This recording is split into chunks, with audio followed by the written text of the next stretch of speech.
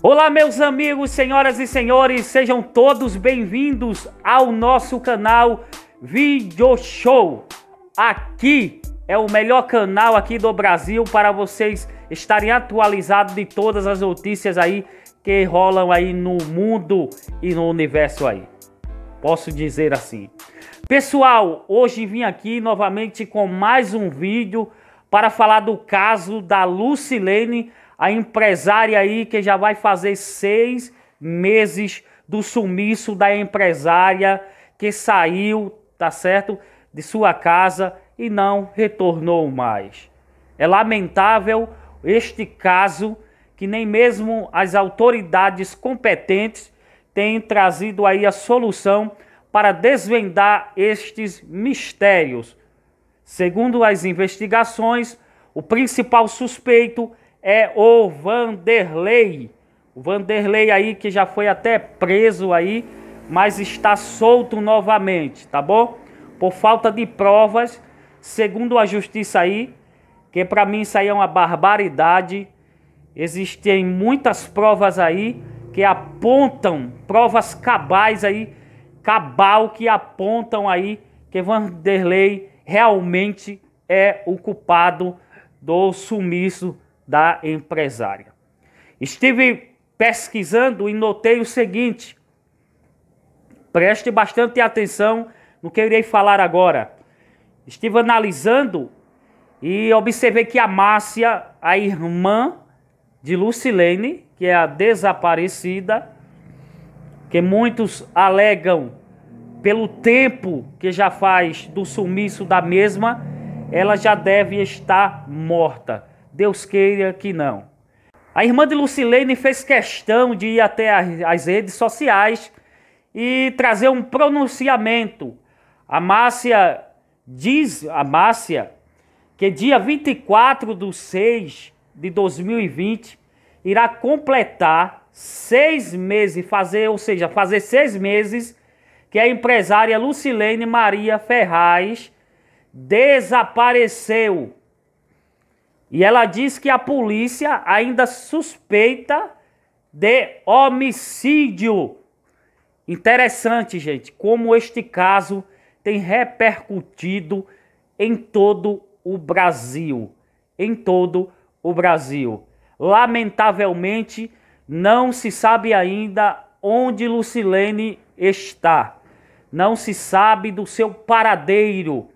Segundo as investigações, segundo a polícia, aponta o principal suspeito que é o Vanderlei. Estive observando que várias provas aí já foram obtidas, tá? Já estão na mão da, da polícia, mas não foi o suficiente, ainda não foi o suficiente para colocar Vanderlei atrás das grades, visto que as provas que são cabal aí, cabais, indicam que realmente foi o Vanderlei que deu um sumiço aí na empresária. Isso dói muito no coração da mãe de Lucilene, de toda a família, que posso imaginar, não estou na pele deles, mas posso imaginar a tristeza que eles devem estar e o sofrimento de todo dia deitar, levantar e não poder ver mais o seu ente querido, a sua irmã, sua filha, é, dentro de casa. É uma dor, deve ser uma dor insuportável. Márcia também pede às autoridades competentes, principalmente as autoridades é, de Porto Ferreira, né?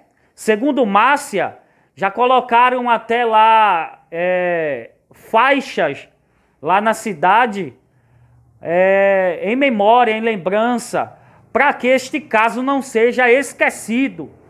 O Brasil tem esta dificuldade, o Brasil tem este grande defeito, é de muitos casos é, as autoridades brasileiras deixarem de lado e esquecerem.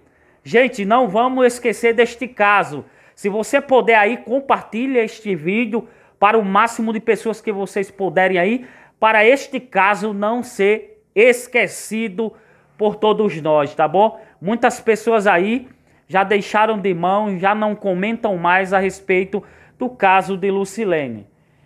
Gente, Márcia também postou é, uma foto é, da sua irmã nas suas redes sociais e Márcia fica indagando, fazendo algumas perguntas e ela pergunta o porquê, o porquê de Lucilene.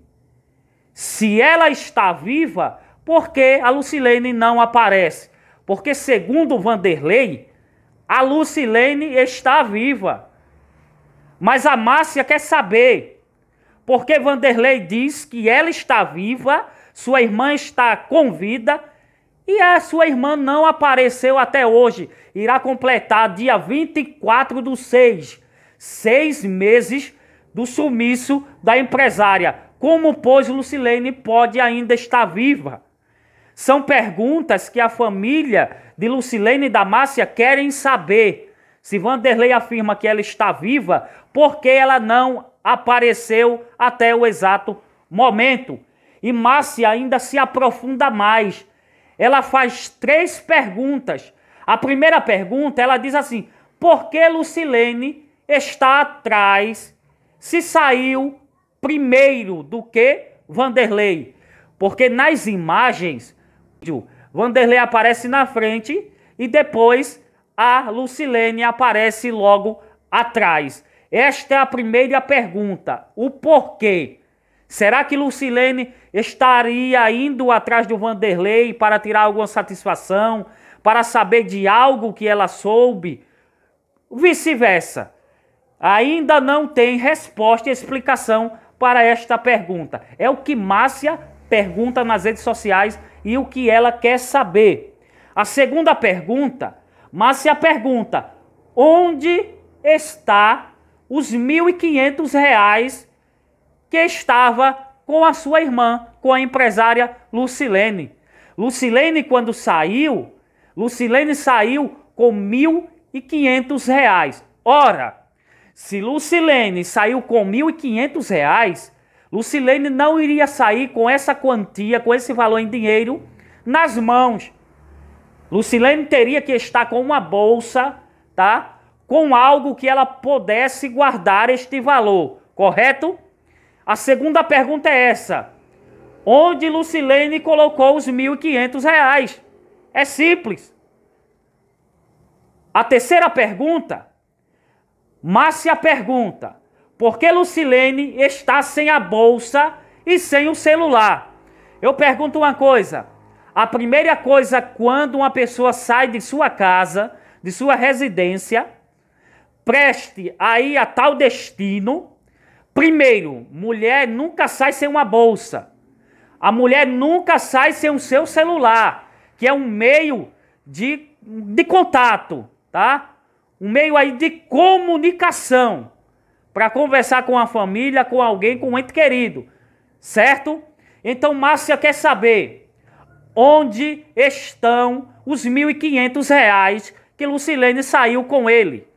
Márcia também quer saber onde está a bolsa e o celular da empresária, porque ela saiu com R$ 1.500, ela saiu com a sua bolsa e ela saiu com o seu aparelho celular. Outra coisa, que é bastante estranho. No vídeo aí que a Record, tá, passou no Cidade Alerta, dá para perceber claramente dentro do hotel barulhos, grito e pedido de socorro da empresária Lucilene. E dá para perceber que lá no fundo a gente consegue ouvir também algumas vozes. E esta pessoa que grita muito está pedindo por socorro está pedindo por ajuda.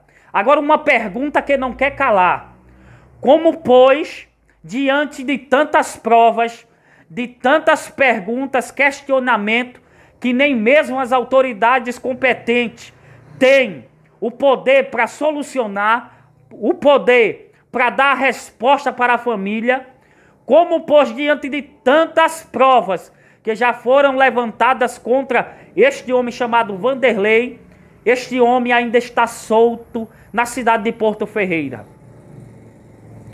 Essas três perguntas foram feitas pela Márcia nas suas redes sociais. E o Brasil todo quer saber o que, o que aconteceu com a empresária Lucilene, dia 24, relembrando, e estará completando seis meses de sofrimento, de dor que a família da empresária está enfrentando. E mesmo com as provas adquiridas e levada até a delegacia, entregue à justiça, este homem, por nome de Vanderlei, ainda está solta, pois ele é o principal suspeito do assassinato, do sumiço da empresária. O que vocês acham disso? Eu peço a vocês, se vocês tiverem uma opinião formada, lembrando que não estamos aqui afirmando nada, não estamos acusando, só estamos aqui relatando diante das provas contundentes apresentadas à justiça o porquê o culpado do sumiço ou do assassinato da empresária, o indivíduo não está preso, não está atrás das grades. Porque a justiça brasileira é tão falha, é tão frágil? Porque o homem que é o principal suspeito e já tem provas aí contra ele, não de um assassinato, mas de dois. Quem lembra da jovem por nome de Morgana? Eu acho que é Morgana, se não falha a memória. Outro assassinato que o principal suspeito é o senhor Vanderlei. O que você acha destes comentários e destas perguntas que a Márcia fez nas suas redes sociais? Se você tem alguma opinião formada, eu te peço, deixa aqui embaixo nos comentários. Não esqueçam de deixar bastante like para que este vídeo seja anunciado por muito para muito mais gente e pessoas possam ouvir e ver este vídeo aí. Tá bom, pessoal? Um abraço para todos vocês. Não esqueçam de comentar aqui embaixo, deixar o teu like e compartilhar este vídeo. Um abraço e até mais.